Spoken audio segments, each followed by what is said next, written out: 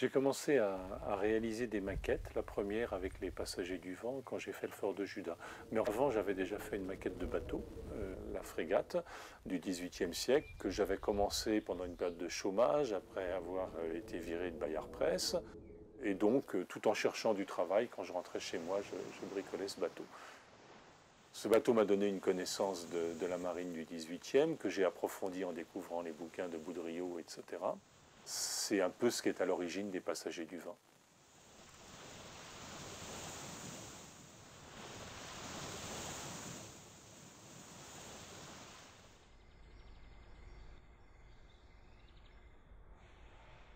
Ça c'est la maquette du, fort de Judas. Euh, donc euh, voilà, on a donc les, cloisonnements intérieurs. Ici et là. Alors le fort de Judas, bon, j'en avais des, plans, j'en avais quelques esquisses, quelques croquis assez peu euh, réalistes. J'ai eu envie à un certain moment de lui donner une forme pour mettre en, relation les différents documents que j'avais. Donc comme c'est quelque chose d'assez simple, le fort de Judas, c'est vraiment euh, quelques, quelques baraques avec des toits de chaume, euh, un, petit, un petit environnement de palissades et, de, et de murs avec quatre tours au coin. C'est vraiment quelque chose de très simple, donc c'est une maquette qui a été assez vite réalisée, mais c'est une fois que je l'ai réalisée que j'ai compris qu'elle était intéressante pour moi, plus que je ne le pensais. C'est-à-dire que simplement en l'orientant en fonction du, de l'heure du jour ou de la nuit, euh, j'avais mon éclairage à l'est, à l'ouest, etc. Il est bien évident que je ne vais pas faire une maquette pour une seule case. Si, si j'investis en temps, c'est-à-dire si je vais passer une semaine, deux semaines, voire trois semaines à faire une maquette, c'est que le, sujet en vaut le coup. Ça, veut dire que cette maquette va me servir quand même tout au long de l'album. Ça a été le cas du, fort de Judas, ça a été le cas du château de Montroy, c'est le cas de la, du Rafio d'Ayadaldal, etc. Ou d'un personnage, quand je vais faire le, modelage de la tête du chevalier ou le modelage d'une série sur laquelle je travaille actuellement. Euh, bon, bah, c'est parce que je sais que ces personnages, je vais vraiment les voir souvent et qu'à partir de ce moment-là, tout ce travail sera rentable, si on peut dire.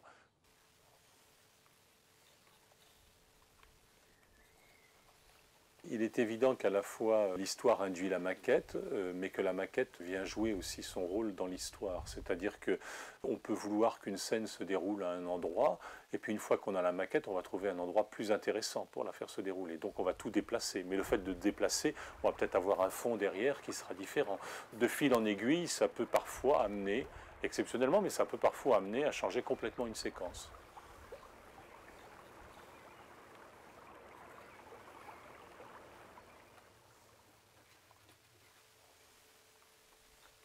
Si j'ai besoin d'un éclairage particulier, bon, si c'est une maquette extérieure, par exemple, l'heure du jour ou de la nuit, le déplacement de la Lune ou du Soleil, à ce moment-là, il est évident que je vais tout de suite euh, orienter ma maquette soit à la lumière du Soleil, soit éventuellement avec une lumière électrique. Mais enfin, les, faisceaux de la lumière du Soleil sont parallèles, ceux d'une lumière électrique sont, divergents, donc ce n'est pas tout à fait les mêmes ombres.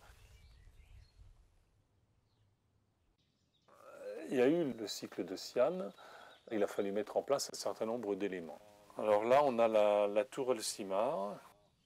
Je vais avoir à la dessiner sous tous les angles euh, pendant plusieurs albums et donc euh, j'ai décidé d'en faire la maquette. Donc je suis parti des, dessins qu'avait fait Claude, il avait fait quelques plans, je les ai agrandis et puis j'ai retravaillé ma, ma tour Elsimar.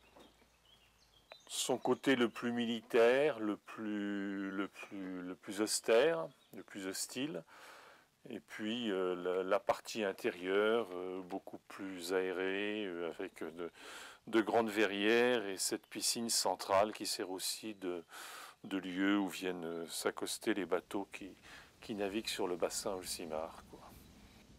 Et elle m'a bien servi, elle, m'a bien parce que effectivement, ça m'a permis de choisir des angles que j'aurais jamais été trouvé s'il avait fallu que je fasse, que je monte les choses en perspective. Je préfère avoir ces maquettes et puis euh, aller, faire mes prises de vue, aller, faire, aller choisir mes angles, aller choisir mes éclairages comme d'habitude. Et, éventuellement, encore une fois, la maquette peut générer des idées.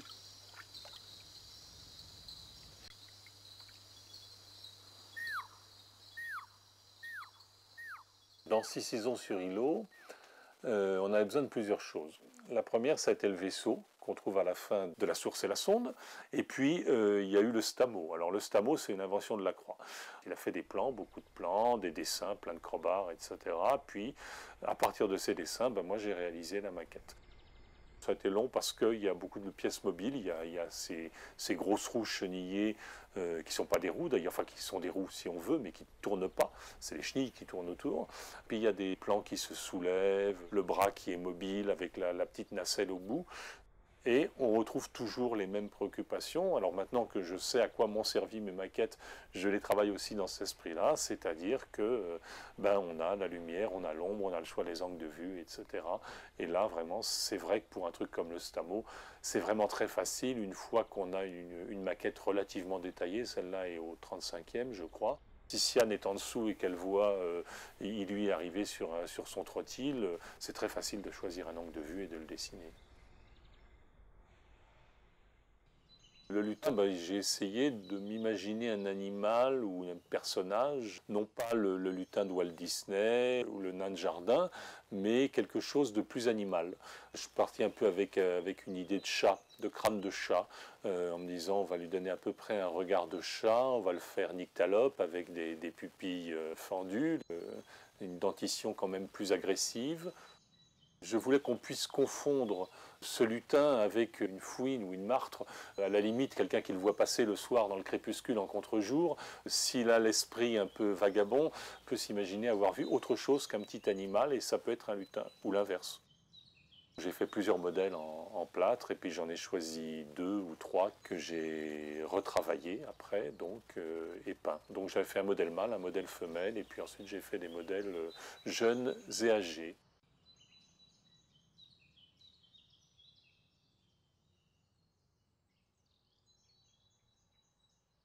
Le temps passé sur les maquettes, on peut considérer que c'est du temps perdu, mais c'est déjà une récréation. Euh, et puis c'est aussi un temps qui sera récupéré de toute façon, parce que pendant qu'on réalise une maquette, à la fois on mâche le travail du dessin qui va suivre, mais aussi on parfait la réflexion, c'est-à-dire qu'on continue à penser à l'histoire pendant qu'on bricole. C'est toujours une aide et c'est toujours une évolution dans l'histoire.